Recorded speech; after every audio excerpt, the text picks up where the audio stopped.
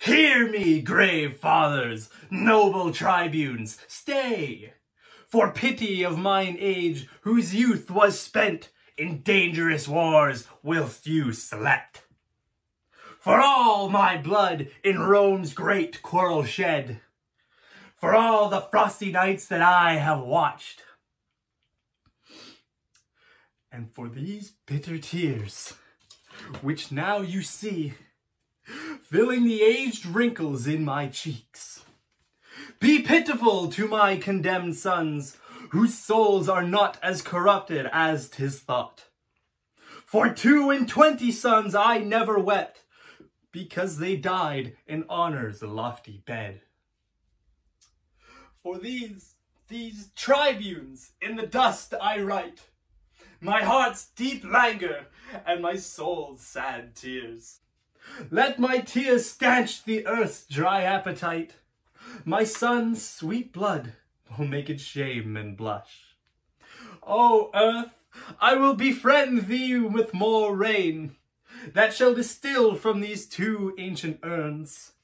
Then youthful April shall with all his showers. In summer's drought I'll drop upon thee still.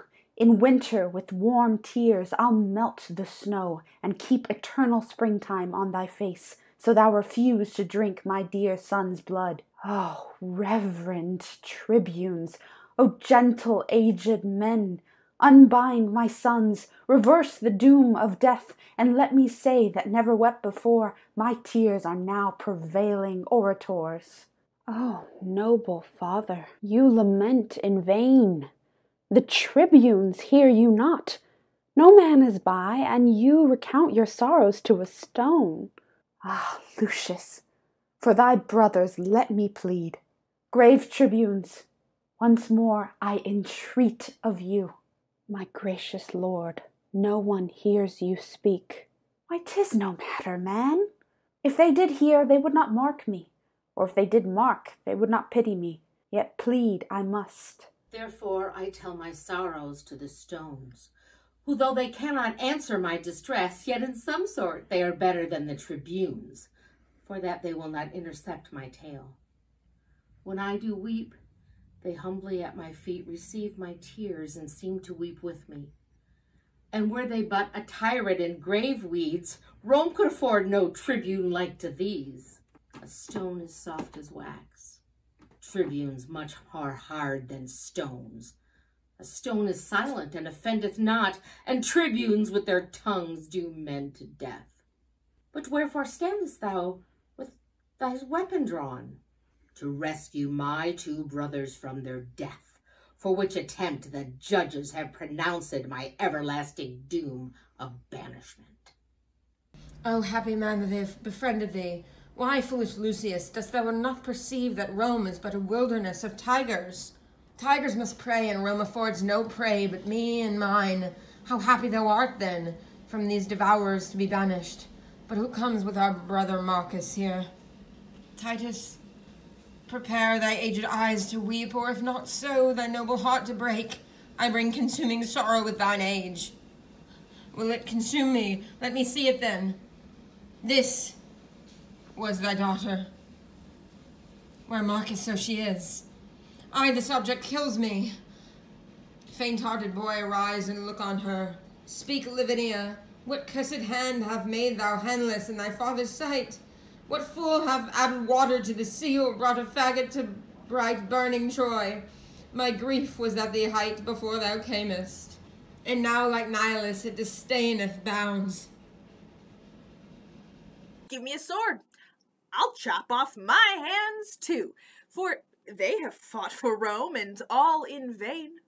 And they have nursed this woe in feeding life, in bootless prayer have they been held up, and they have served me in effectless use. Now, all the service I require of them is that the one will help to cut the other. Tis well, Lavinia, that thou hast no hands, for hands to do Rome's service are but vain. Speak, gentle sister, who hath martyred thee? Oh, that delightful engine of her thoughts that blabbed them with such pleasing eloquence is torn forth from that pretty hollow cage where, like a sweet and melodious bird, it sung sweet varied notes, enchanting every ear. Oh, say thou for her, who hath done this deed? Oh, uh, thus I found her, straying in the park, seeking to hide herself, as doth the deer that hath received some unrecurring wound. It was my dear, and he that wounded her hath hurt me more than had he killed me dead. For now I stand as one upon a rock environed with a wilderness of sea, who marks the waxing tide grow wave by wave, expecting ever when some envious surge will in his brinish bowels swallow him. This way to death my wretched sons are gone. Here stand my other son, a banished man, and here my brother weeping at my woes. But that which gives my soul the greatest spurn is dear Lavinia, dearer than my soul. Had I but seen thy picture in this plight, it would have maddened me. What shall I do now I behold lively body so? Thou hast no hands to wipe away thy tears, nor tongue to tell me who hath martyred thee. Thy husband is dead, and for his death thy brothers are condemned, and dead by this.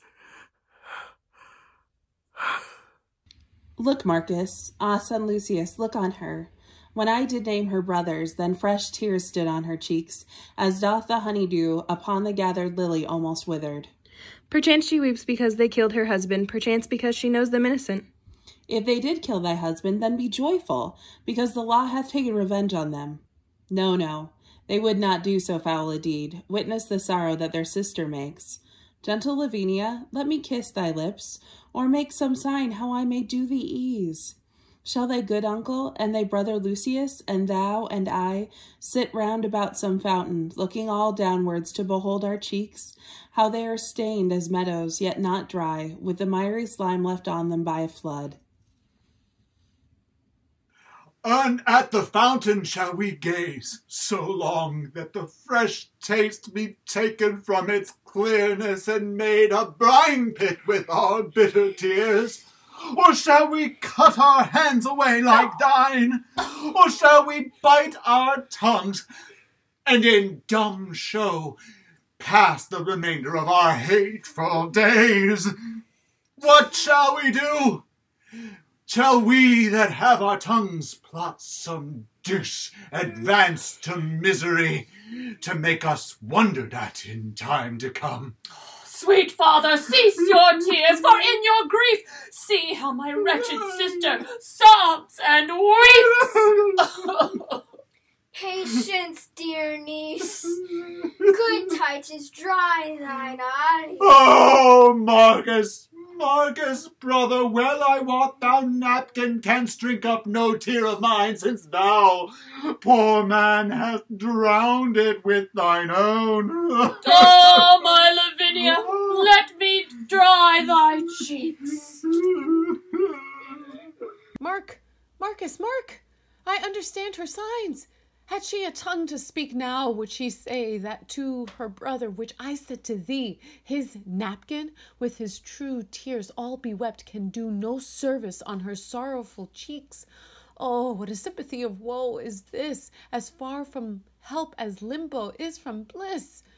Titus Andronicus, my lord, the emperor sends thee his word, that if thou love thy sons, let Marcus Lucius or thyself, old Titus, or any one of you chop off your hand, and send it to the king. He, for the same, will send thee hither both thy sons alive, and that shall be the ransom for their faults. Oh, gracious emperor, oh, gentle Aaron, did ever raven sing so like a lark that gives thee sweet tidings of the sun's uprise? With all my heart, I'll send the emperor my hand. Good Aaron, wilt thou help to chop it off? Stay, father, for that noble hand of thine that hath thrown down so many enemies shall not be sent. My hand will serve the turn. My youth can better spare my blood than you, and therefore mine shall save my brothers' lives.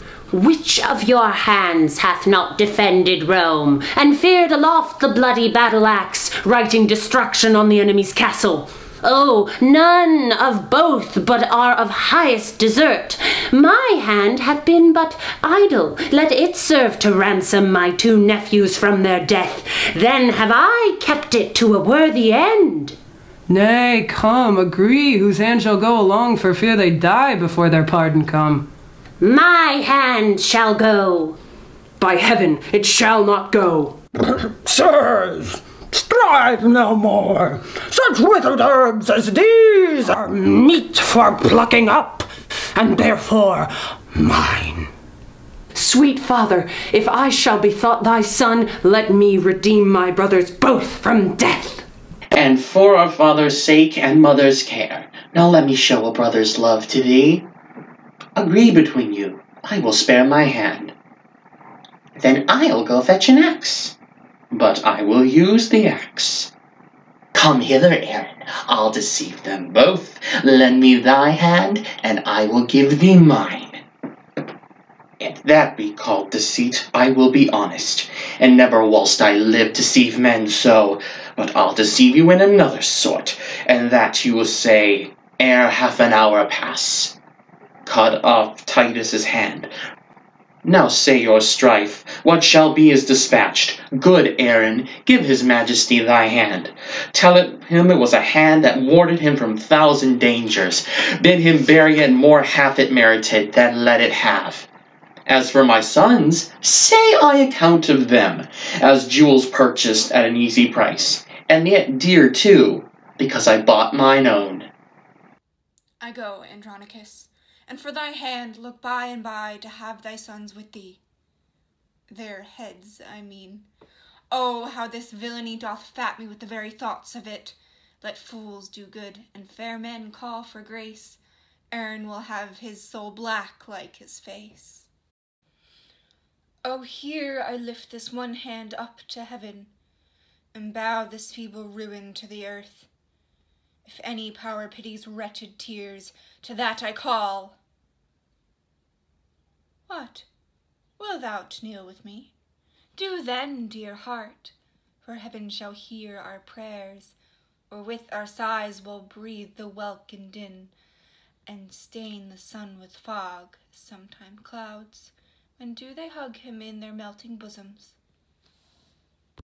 O oh, brother, speak with possibilities, and do not break into these deep extremes. Is not my sorrow deep, having no bottom?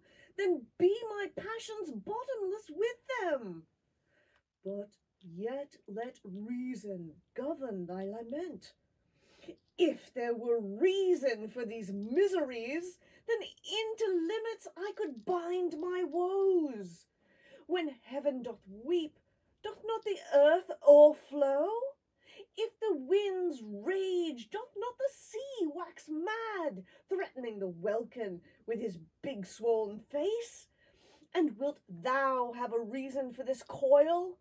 I am the sea, hark how her sighs do blow. She is the weeping welkin, I the earth. Then must my sea be moved with her sighs. Then must my earth with her continual tears become a deluge, o'erflowed and drowned. For why my bowels cannot hide her woes, but like a drunkard I must vomit them. Then give me leave, for losers will have leave to ease their stomachs with their bitter tongues. Worthy Andronicus, ill art thou repaid for that good hand thou sentest the emperor. Here are thy heads of thy two noble sons, and here's thy hand in scorn to thee sent back. Thy grief thy sports, thy resolution mocked. That woe is me to think upon thy woes, more than remembrance of my father's death. Now let hot Etna cool in Sicily, and be my heart in ever burning hell. These miseries are more than may be borne. To weep with them that weep doth ease some deal, but sorrow flouted is as double death. Uh, that this sight should make so deep a wound, and yet detested life do not shrink thereat. That death should let life bear his name, where life hath no more interest but to breathe. Alas, poor heart, that kisses comfortless as frozen water to a starved snake.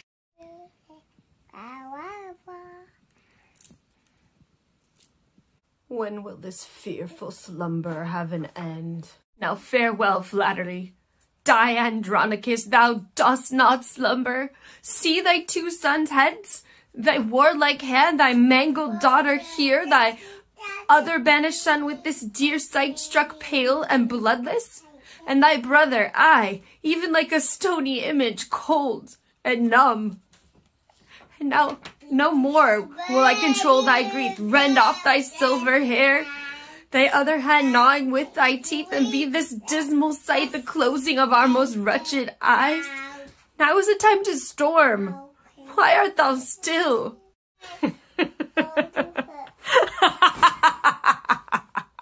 Why dost thou laugh? If it's not with this hour.